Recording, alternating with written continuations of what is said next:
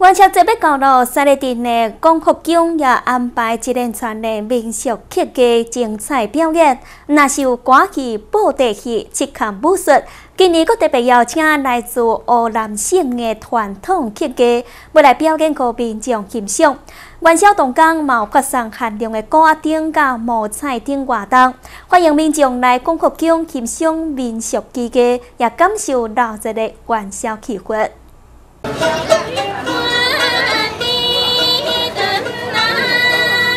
这么精彩的表演是来自湖南的民俗技艺。元宵暝在西丽镇广福宫是全台唯一一场的演出。东港也有来自西丽的歌戏、布袋戏和七孔武术等表演，欢迎大家来欣赏。对，邀请到咱大陆湖南省诶文化厅哦，带着国家级的哦二十一个表演者，要来咱广福宫庙埕表演。咱西丽这边、分关这边嘛，邀请到。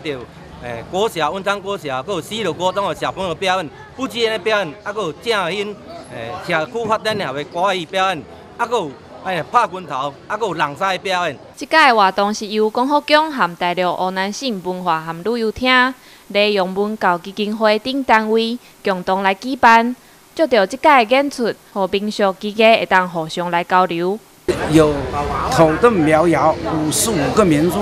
我们。有四弦鱼鼓、弹指小调，这次带了单锣鼓、三棒鼓，整个十种形式的曲艺，也是我们湖南的金花一起欢度元宵，进行文化交流。西丽这坎是真出名，西丽学校和社区团体也借着各种方式，将传统的戏曲艺定透过练习和表演，和在地民俗文化和技艺会当继续传承落去。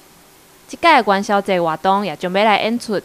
邀请到湖南省文化局旅游厅的呃很多的曲艺达人，也就是非物质文化遗产的很多呃传统艺师，到西罗广福宫来一起参加我们的元宵节庆活动。那晚上的晚会呢，由我们的正兴歌仔戏班来做开场，从六点就开始，欢迎各位呃乡亲朋友到西罗广福宫一起来欢度元宵节。庙方也表示，元宵节当天下晡五点开始，现场要发放限量锅仔灯、摩菜等活动，欢迎民众来广福宫看表演、庆元宵。记者潘祖基采访报道。